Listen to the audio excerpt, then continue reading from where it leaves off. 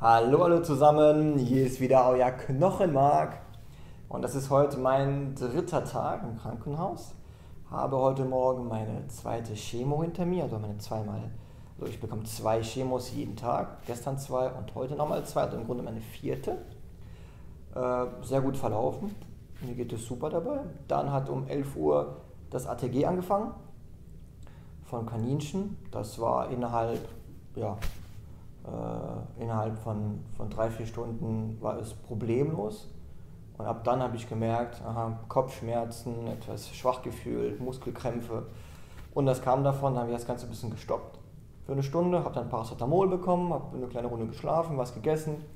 Und äh, jetzt geht es mir wieder besser. ATG läuft auch wieder, ein bisschen langsamer als davor, aber läuft wieder. Und mir geht es gut.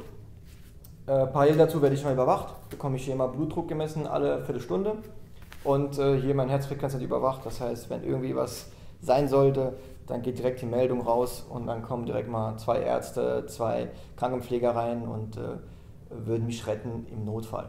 Aber ich fühle mich gut, alles ist wunderbar, ich bin positiv und äh, der dritte Tag ist auch bald rum und dann kommt morgen der vierte Tag und ja, ich freue mich drauf. Bis zum nächsten Video. Alles Gute. Bis dann, euer, euer Knochenmark.